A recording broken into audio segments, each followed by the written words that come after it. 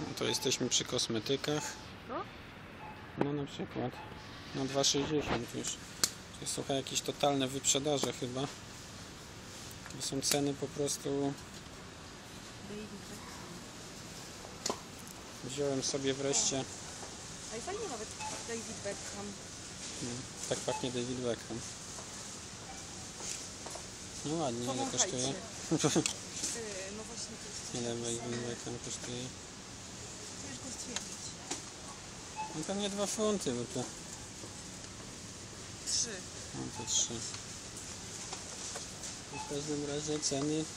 O, tu masz jakiś celik, no, O właśnie tego szukałem. A nie, to jest. Co to jest? no shower, shower, shower gel. Też 2,60. Mm.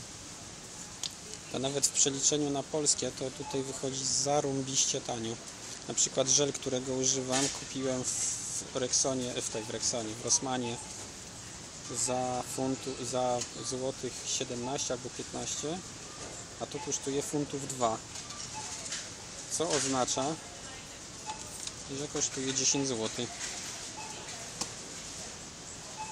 Dobra, ja wiem, że ja patrzę na najtańszy, ale mi to shaving to 26 pensów. No dobra, wiem, ale...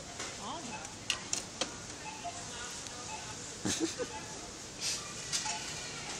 Jeszcze gdzieś przy- przyjdziemy? Dobra.